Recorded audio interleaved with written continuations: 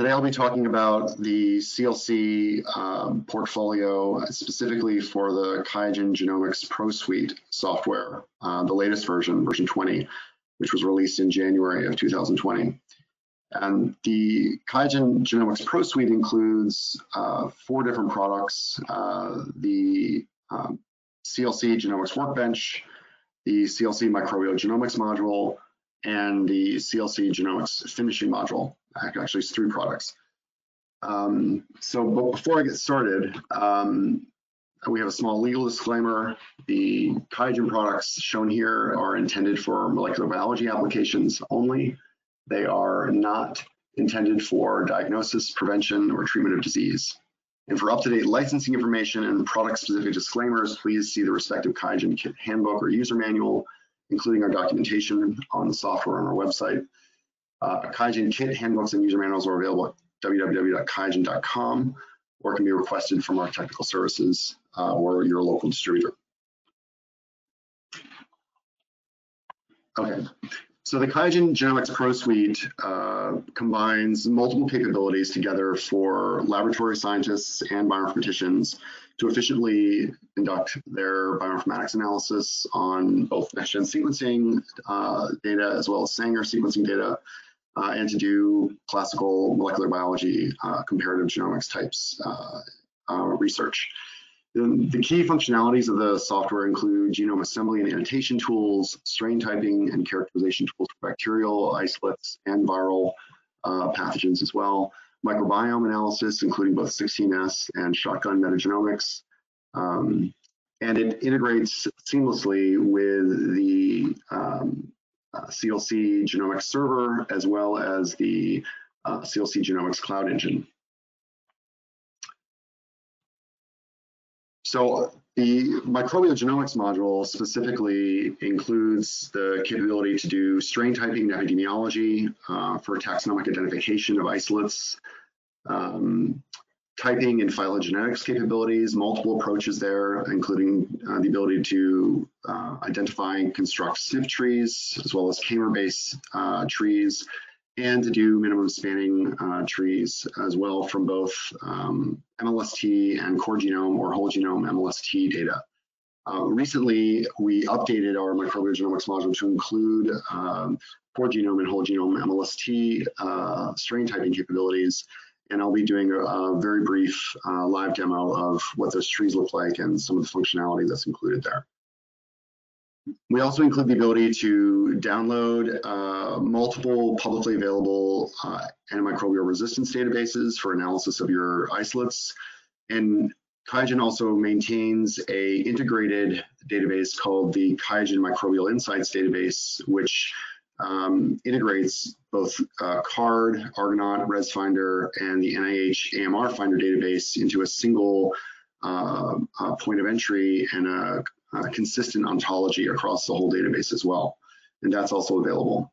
In addition, uh, you have access to VRDB, uh, a widely used uh, database on virulence and pathogen genes, pathogenic genes, as well as uh, Ares Genetics uh, proprietary uh, Ares DB, which is a uh, collection of uh, antimicrobial resistance genes from over 100 different pathogens that are all traceable back to their clinical source.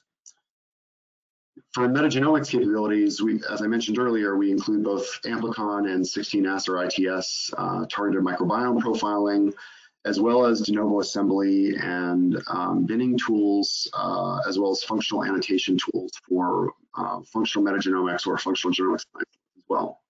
And for our annotation tools, um, we have provided our users with multiple approaches, including BLAST, the DIAMOND algorithm.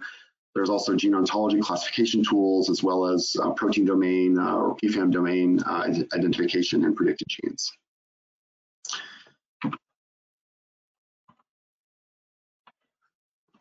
For uh, pathogen outbreak and tracing purposes, um, this is kind of a screenshot of, of what the, one of the views might look like inside the workbench. Um, and um, in this case here, you're seeing a minimum spanning tree of Campylobacter uh, isolates using the traditional seven gene MLST uh, approach. Uh, you have your tree in the upper left-hand window here, as well as a heat map of uh, your different alleles, as well as uh, vertically, as well as um, all of the uh, individual isolates um, uh, on, the, on the left side, and a table that allows you to quickly navigate the isolates of interest. Um, on the right here, you see another type of tree. This is built from a SNP-based tree on tuberculosis isolates from a recent hospital uh, outbreak that was published in the, in the open literature. And it also is kind of a, a, snapshot of how you can tie metadata that you might have associated with individual isolates or strains um, to, uh, to any kind of phylogenetic tree that you might build. And in this case, uh, the researchers um, were indicating, you know, which isolates are coming from Austria or Germany or Romania, et cetera, um, and the merging of our phylogenetic tree tools with tables of data with your metadata in it allows our users to um, uh, customize their trees quite a bit to, to highlight the data that's relevant for their, um, for their research.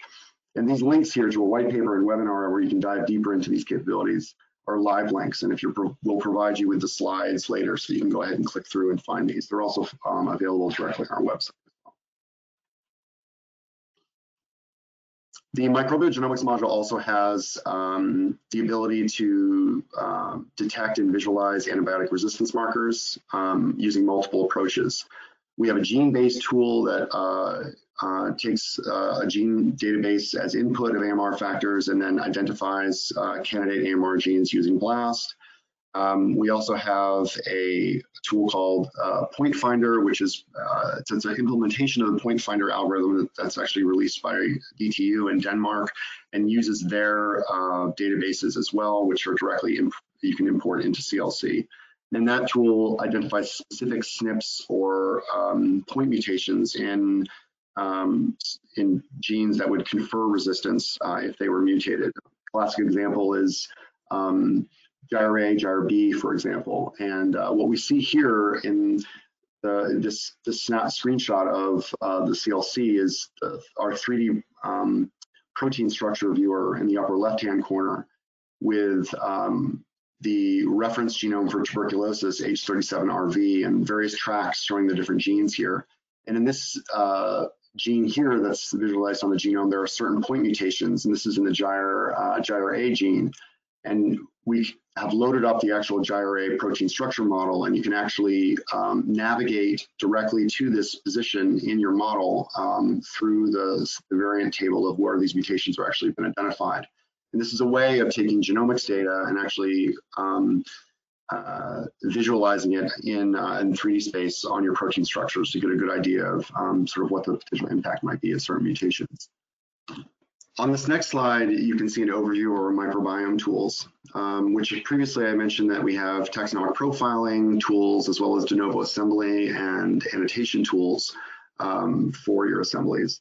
Um, and what you see here is a screenshot of the genomics workbench view where in the upper left-hand corner, you can see an aggregate of taxonomics abundance profiles uh, for a, a range of samples that are included in a particular research study uh, principal coordinate analysis plot of those same samples, seeing sort of separation of the samples um, to identify potential groups of interest. There's a rarefaction curve um, for, from the alpha diversity analysis tool that shows depth of sequencing um, and the number of uh, taxonomic uh, units um, identified. And for each of the individual samples, we also include a uh, metagenomics report, if you will, that highlights the total number of species, genus found, et cetera, the depth of sequencing, and various other statistics associated with the sample. It's important to note here that um, this tool set specifically for the application of microbiome profiling has been highlighted in two recent publications um, that were review articles that um, independently uh, concluded that the CLC platform was best in class for enabling uh, microbiome research. And links to those articles are provided here, as well as link to a research paper, white paper that we also released from our own group, um, uh, demonstrating its utility for um, 16S ribosomal and fungal ITS uh, uh, analysis. It's also important to note that all of these tools are uh, work seamlessly with the rest of the genomics workbench environment, um, uh, which includes, for example, the ability to rapidly build workflows using our drag and drop interface, this is a snapshot of um, uh, are databases that also work seamlessly with the microbial genomics module. There's a wide range of uh, different types of databases that you can access um, in the public domain, as well as proprietary databases that are from uh, that are uh, available through the CLC uh, Genomics Workbench platform. In addition to um, the microbial genomics module that's included in the Pro Suite, you also get the CLC genome finishing module. And this is a additional set of tools that specifically enable uh, researchers who are doing whole genome sequencing and de novo assembly to create high quality closed uh, uh, genomes or high quality draft genomes uh, to share with the rest of the research community. It takes um, the process of doing de novo assembly and binning uh, and uh, polishing of data um, uh, really one one not step forward but really a leap forward in the sense that it provides um, genome uh, assemblers or curators the ability to visualize their assemblies and manually correct uh, chimeric uh, contigs and other aspects of the genome assembly that might have been in error due to um, differences in the sequencing data or differences in chemistry that might have been used that um, pulling different data together. Um, so in this view here, you can see the um, contig joining tool where um, the researcher has um, a specific contig that he's uh, created. In this case, it's called join contig number three. And what they've done is the tool enables um, the investigator to um, align multiple contigs from an individual assembly at the ends and um, you can use it with or without a reference as a backbone and, and as a scaffold um, to create sort of super assemblies or larger scaffolds out of your individual contigs. Um, this can be done manually or it can be done automated in an automated fashion as part of a workflow as well. And then uh, researchers can go back and correct those assemblies um, to further improve them before releasing them. We have uh, several video tutorials on how to use these tools, as well as a technical note describing the features of the genome finishing module in detail. So now I'll get to the real reason that you're here, which is to learn about um, bacterial strain typing and genomics characterization uh, of multi-drug resistance using the CLC microbial genomics module. So there are three major challenges that are often faced by researchers um, uh, involved in microbial genomics uh, research, um, whether you're in the public health space or clinical microbiology space, or you're in the biotech uh, basic research space. It's not uncommon to um, have a need for high quality assemblies and annotation of isolates, uh, the ability to um, identify differences among your isolates using strain typing, uh, established strain typing schemas, uh, or um, in the absence of established uh, strain typing schemas to be able to develop your own methods and your own schemas, or to use a reference-free approach um, like a k-mer-based tool. Um, and also researchers are frequently obviously interested in characterizing the function uh, of different genes or uh, uh, groups of genes that might be identified in their in their isolates. And for example, in the case of antibiotic resistance markers or virulence factors. And I'll be walking through each of these uh, use cases um, uh, with uh, Campylobacter jejuni data that was obtained from a, um, a paper and released on SRA.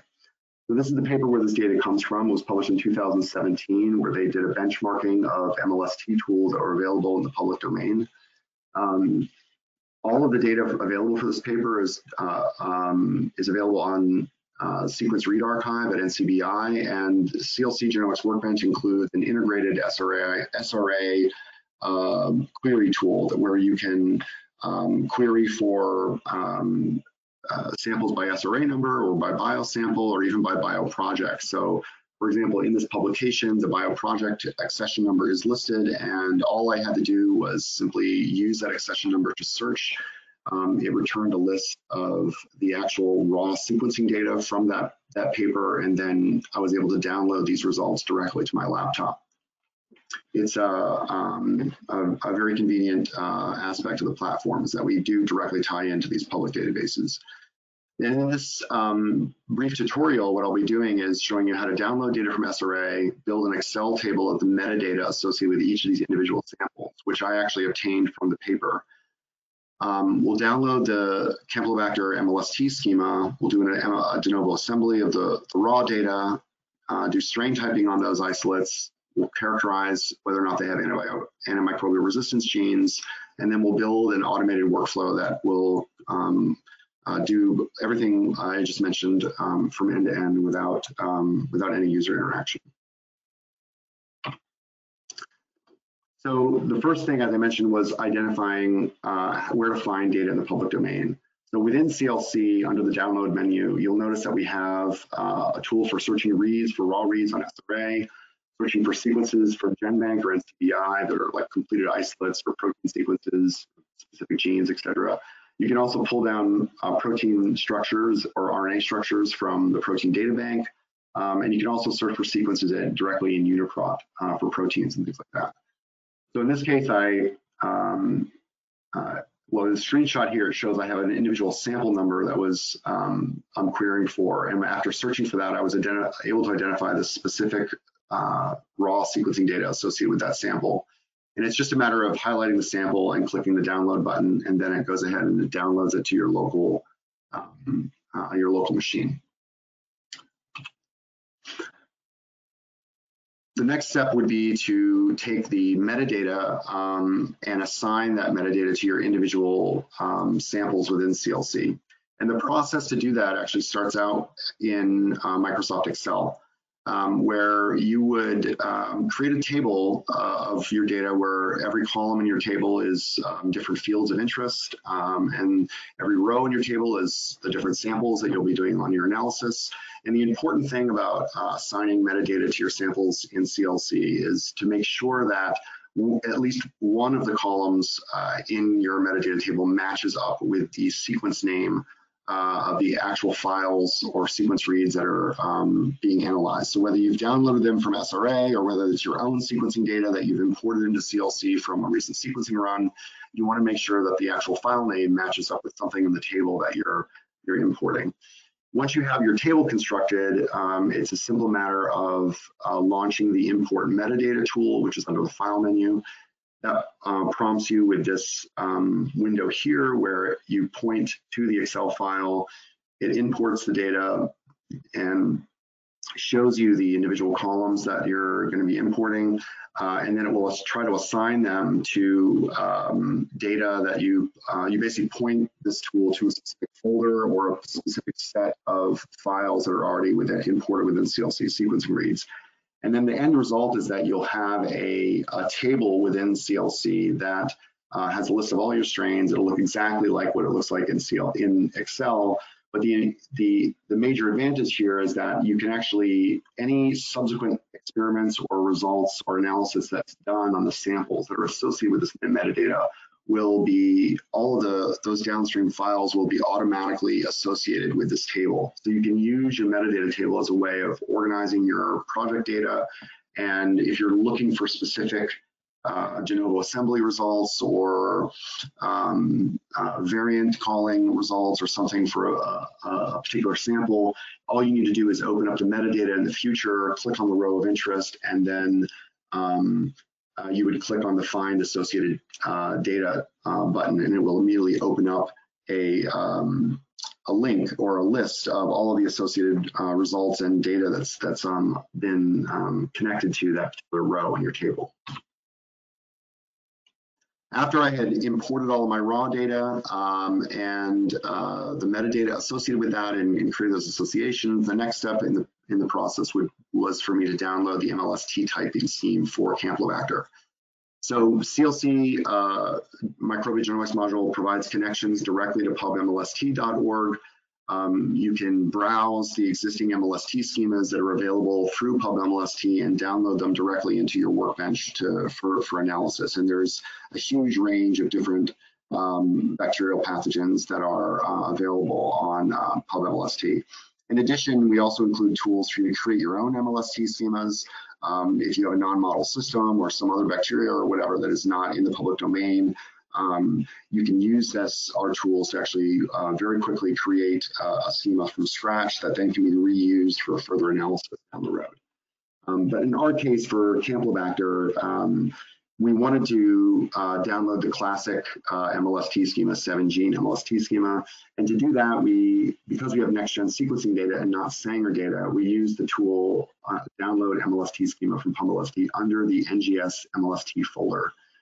For core genome or whole, whole genome MLST, where the schemas are much larger uh, with many, many more alleles associated with them, um, you would use the download large MLST schema tool under the large MLST folder an easy way to find these tools, uh, just as a side note here, in, you can of course navigate through your tool menu and find the tools, but there's over 300 tools included in CLC and sometimes it can be challenging to find the specific tool that you might need. Um, you can favorite tools and they will be saved on your favorites tab. If you just switch over to that favorites tab, you would see them. Another way to quickly find tools is actually to use our quick launch button.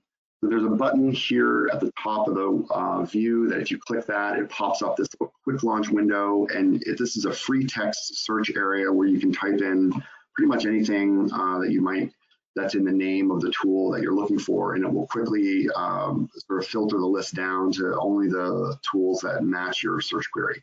And this is a very convenient way to quickly find tools of interest. So I went ahead and downloaded the, the uh, uh, Campylobacter uh, MLST uh, typing schemes, and then um, went ahead and, and, did analysis on uh, these these individual samples. And I'll walk through that a little bit further here in a second. Um, so the traditional seven gene MLST typing tool, this is a schema. This is um, a view of what that looks like up close. Um, we have a the minimum spanning tree in the upper left-hand corner here. There's a heat map of uh, the different, the seven different alleles, as well as all of the isolates and you can actually um, this is interactive um, where you can click on this in this um, uh, hierarchical clustering heat map and it will actually highlight the specific uh, isolates in the tree on the left. You can also open up a table of your trees to look for specific sequence types of interest, which is often of interest to clinical microbiologists.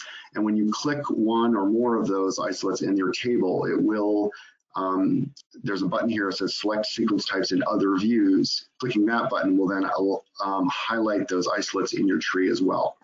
And as a brief uh, introduction to how that works, um, here we are in uh, CLC. Um, I'll go ahead and just make this window a little bit larger.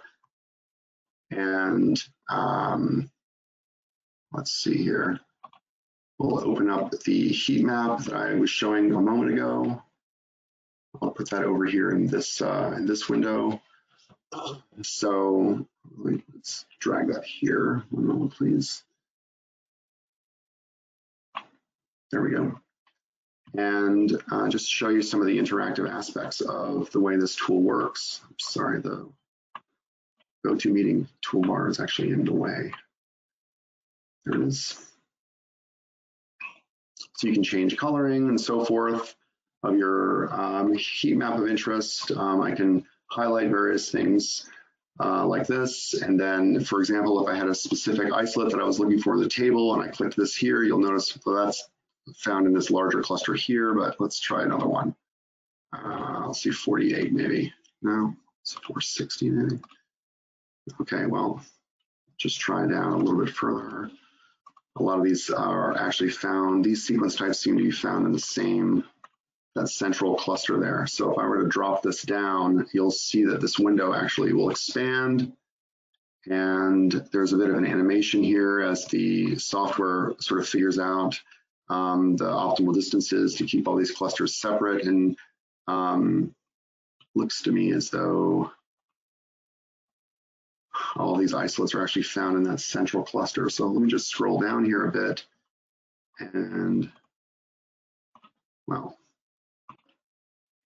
in any case, um, if I were to then do it the other way, where I were to highlight, for example, a region out here, I could select these in other views, and you'll notice that over here, the heat map updated, uh, and it also it also highlighted those same uh, isolates in the table. Whereas if I were to, for example, uh, let's say highlight, uh, let's let's say this cluster here, uh, and I, again, click this again, it will take me to that location on the table of where these sequence types are located and also then change the view of the actual um, uh, heat map where you can see that there are actually um, rows now that have been selected that are um, um, allow you to further investigate that. So then if you had a specific outbreak that was associated with a particular cluster, you could then um, create a sub cluster or sub scheme out of this MLST schema um, instantly by just clicking this button here and it will then uh, basically create an entirely new um, MLST schema file that would allow you to then add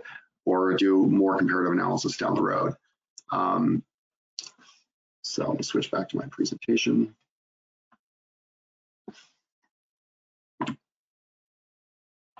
Okay. So now we see uh, uh, a uh, our work our workflow uh, editor over here on the right, and this is specifically for in this example. What I'm doing is I'm uh, creating a simple workflow that does read trimming, uh, some quality control analysis of my input data, and then does a de novo assembly where the um, the draft assembly is one of the outputs as well as a number of different reports. Um, this is a kind of a first step towards actually doing strain typing on all of your isolates. Um, there's a couple of different ways that you can run uh, workflows on multiple samples. When you launch a workflow, you'll have an option to run it in batch mode, which means that it, it will run that same workflow one time on all of the input samples that you are um, um, submitting to the workflow. There's another way that you can run workflows now, which is a new way that we introduced in the most recent release of the CLC platform, which is we introduced two new tools that are flow control tools uh, for our workflow editor. One is the iterate tool and the other is the collect and distribute tool.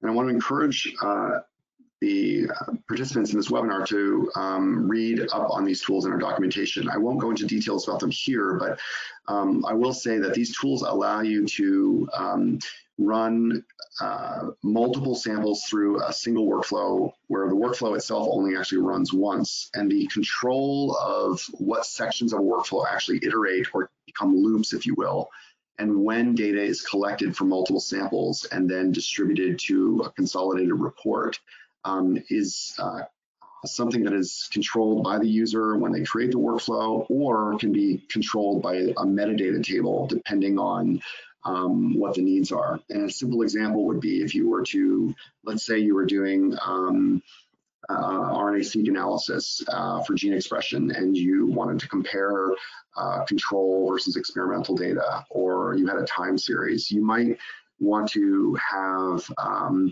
different sets of data being run through a workflow uh, analyzed slightly differently, um, depending on uh, uh, whether or not the, the those individual samples were, you know, part of the control set or part of the experimental set, um, or a specific time point, for example. And your metadata tables can control that and control the behavior of these iterate and um, collect and distribute uh, tools that, that can be included in your workflows. It's very powerful. So the running this the workflow I had created um, produced a number of re reports, including uh, a QC report, which um, we're only showing a, a small section of here.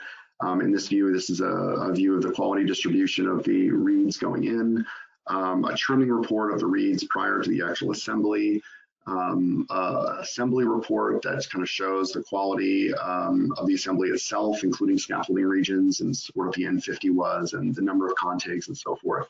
And then you can actually open up the assembly itself, of course, and you can see a list of the 136 contigs, and each of these are essentially read mappings that can be further opened and you can investigate how the reads were mapped and um, what areas of those contigs had low coverage, et cetera.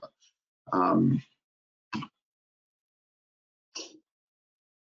Once I had completed all of the de novo assemblies of the samples that were obtained from that paper, um, running the strain typing tool um, uh, on, on those assemblies produced a number of reports. Uh, one of them, for example, is this um, uh, this is the strain typing report for the traditional seven gene MLST um, uh, tool, which uh, identifies the allele itself, what the specific sequence was for that sequence type, and uh, whether it matched or not, and what the depth of coverage was for the match that was hit, and what the uh, was the highest quality sequence type that was identified. Um, so we don't uh, necessarily return only a single result. What I mean by that is um, you do see a single result at the top of this report, but if you actually open up the output of the MLST tools as a table, um, you'll see a rank ordering of all of the sort of second and third best uh, potential sequence types that might be assigned to an individual um, sample.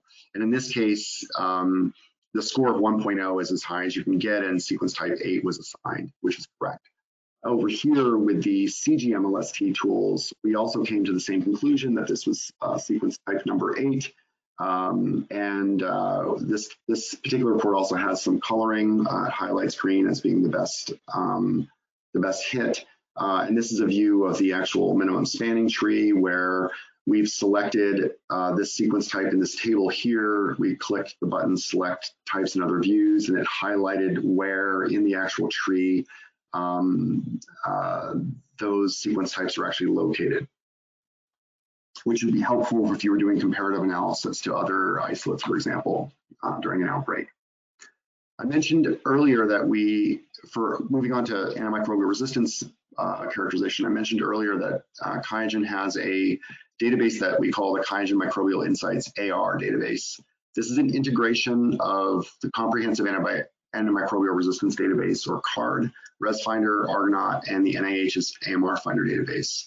Um, it's important to note that um, ResFinder, ARG-ANNOT, and AMR Finder do not have a structured ontology associated with antibiotic resistance genes um, but CARD does. And it was important to us to maintain um, a, uh, a, structure in that way, an ontology. So we actually re-implemented CARD's ontology and will continue to maintain uh, the ontology that CARD uh, uses. Um, and we applied it to all of the other genes that were pulled uh, from these other databases in our integrated database as well, QMI-AR. And this is a, one view of the database itself where we have a list of different markers, we uh, have kind of a, you could say a, um, a source or an origin uh, identifier where we indicate which database uh, this particular gene was uh, originated from. You'll notice that um, some genes are found in CARD and not in others. And if I were to scroll through this, this table, you would see that there are um, there, there's quite a lot of diversity or disparity, I should say, between the overlap between these different databases. Not all genes are found in all databases. I mean, that's the whole point of why we pulled this database together. We also add um, PubMed IDs for each gene in QMI-AR, where if you were, these are live links, where if you were to click these, they'll take you out to the original literature that are, was the original citation for when this gene was discovered and when it was deposited into the CARD, um, which is helpful for researchers when they want to investigate specific uh, genes that might be conferring resistance. In addition, we also provide access to the Ares, uh, Ares DB from Ares Genetics. And as I mentioned earlier, this consists of AMR markers uh, that have, have, been identified through machine learning methods from over 11,000 clinical isolates of resistant pathogens. The um, important thing to note uh, about Ares DB is that all the isolates in Ares DB come from human clinical um, uh, sources, and they all have been empirically tested uh, for antibiotic susceptibility. Um, uh, and then whole genome sequencing was done using a consistent method. The assembly pipelines were all consistent, and uh, the annotation pipelines were all consistent across all the isolates in AresDB.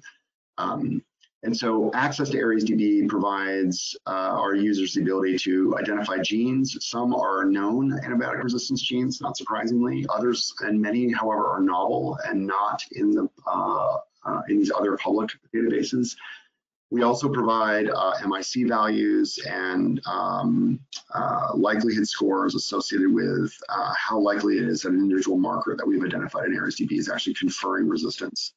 Um, so there's kind of a breakdown here of the number of different genes and SNPs that we've identified, that Ares Genetics has identified that we've included in this database for you to um, investigate further. On the algorithm side, um, uh, for AMR prediction, we have a find resistance uh, nucleotide database tool, the uh, find resistance with point finder, and uh, find resistance with ShortBRED uh, tools, and these have uh, different inputs and um, different outputs depending on the type of data that you, um, you are working with and types of analysis that you need. Um, resistance with nucleotide database tool requires contigs or whole genomes as input, and it'll identify genes uh, conferring resistance to really any gene database that you provide, but it's, it's intended to be used with one of the databases that we provide as download, but you of course can create your own as well. The find resistance with Point Finder uh, is run on raw data and it then compares that to a very highly well curated database of point mutations that's maintained by uh, DTU in Denmark. And then uh, the output of that is a table of resistance markers and the specific SNPs that are associated with, um, with resistance. Um, the ShortBRED tool, um, which anecdotally is one of my favorites, uh, also runs on raw reads. Um, and this uses what's called a ShortBRED database, which is a database of precompiled protein markers um, um, that um, are designed, these are antibiotic resistance gene or proteins and the specific markers associated with resistance that are not found in uh, any other genes other than these resistance genes. And so you run your raw reads uh, through uh, the ShortBRED pipeline and it will pick those reads out uh, um, that have a high level of similarity uh, or would be predicted to um, uh, have a high level of similarity to DNA that would encode these specific protein markers. So it's a way of using protein data, um, protein markers to actually query your genomic data. Um, so especially for hypothesis generation and the ability to identify novel uh, um, antibiotic resistance markers, ShortBRED, I think, uh, does an excellent job at this because of the um, sort of inherent flexibility of um, DNA sequence as it as it gets translated into into protein sequence, right? So it's a very broad range there, and it's a it's a great way to identify new markers that might not otherwise be present um, in the databases themselves. So here's a simple workflow where um, your raw data is coming in. Uh, we do a, a, trimming step up front, and then after trimming the reads, we run those raw reads through ShortBRED um, and through Point Finder. We then do a de novo assembly on those reads, um, and then after the assembly is completed, we run those assemblies through the find resistance with nucleotide database. So this is a simple workflow that takes raw FASTQ files as input, and the output is a analysis using three different antibiotic resistance um, methods uh, as to whether or not your isolate actually has uh, resistance genes and specifically where they are and, and what the nature of them is. This is a snapshot of uh, what some of the outputs might look like in CLC. Um, in the upper left-hand corner, you have the output of our um, gene finding tool, where in this case, there were five different genes that were identified, their level of similarity to what was in the database um, the length of the match and so forth, the specific contig that they were identified on, et cetera. Um, in the upper right-hand corner, uh, these are reads that were, I, you can say were quote unquote binned. In other words, they had a high level of similarity to known antibiotic resistance genes um, that were pulled out using the point finder tool. Um, in the lower left-hand corner, uh, this is a list of um, potential drug resistance phenotypes that were identified in your sample. Um, and uh, the number of um, uh, hits that were assigned to each one of those. Now, a note here for those who are sort of eagle-eyed, you'll notice that a lot of these sort of generically say antibiotic molecule. Um, and this is because the underlying phenotypic um, uh, ontology, the, this is actually phenotypic ARO number that's assigned to these, um, in the CARD database has uh, identical names. So this is a known issue that we're addressing in a next a, a near release in the near future that will have a, um, a better resolution here on the actual uh, title here. So don't be uh, don't be scared off now. But if you were to click through and um, uh, follow these links to your uh, with your web browser, you would see indeed that um, uh, what the specific antibiotic resistance uh, markers were and, and what the drugs were that were associated with those so bringing this all together, um, you have a single workflow here that does raw FASTQ files up front as input. We trim the reads, we do a de novo assembly on those reads, and we can find antibiotic resistance genes and also do our QC. The raw reads themselves um, then can, as I mentioned earlier, would, can be run into our point finder tool or a ShortBRED tool for antibiotic resistance genes um, as well as serving as input into our uh, CGMLST uh, tool set, where we can uh, identify strain typing in a um, assembly-free manner and actually um, add that if a new typing, uh, a new strain type has been identified, actually add that uh, type to uh, to a schema database uh, that you're you're currently using. And uh, I haven't covered it here in this presentation, but uh, directly from this de novo assembly step in this workflow, you can also see that we're identifying new genes and finding prokaryotic genes in our assemblies and we're analyzing those genes with Diamond um, and um, providing a functional uh, assessment and classification of those genes. And then we're applying um, an, an, analysis of PFAM domains and gene ontology or GO annotations as well will be applied. And this enables researchers to take a de novo assembly, identify genes, and then do a functional classification um, on what sort of other um, genomic or genetic um, capabilities or, or um, features are present in the, in, the organism of interest. So today, um, as a brief review, uh, we kind of overviewed some of the capabilities of the CLC Genomics Pro Suite, uh, specifically um, really kind of went into detail about the microbial genomics module as it relates to strain typing and strain characterization for AMR. Um, we learned how to download data from SRA, use Excel uh, as a starting point for importing metadata and then assigning that metadata to your actual samples in CLC. We uh, reviewed how to download MLST schemas, do de novo assemblies and strain typing, as well as uh, work with our antimicrobial resistance uh, databases and analysis tools. Uh, and lastly, and importantly, um, one of the strengths of the CLC platform is the ability to build single workflows that automate the entire process from, from one end to the other.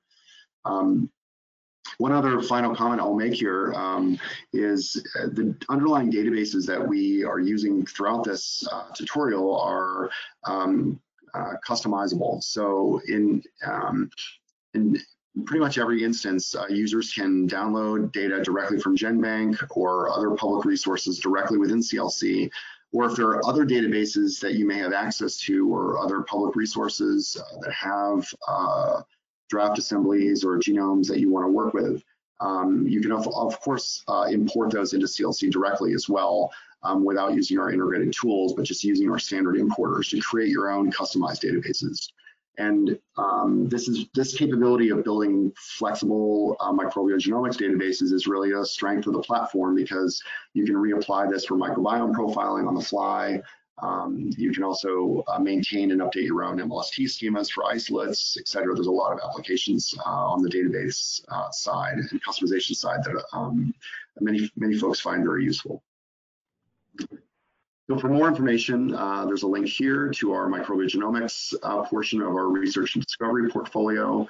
Um, and uh, thank you, thank you very much for your time. Um, please feel free to contact us if you have any further questions.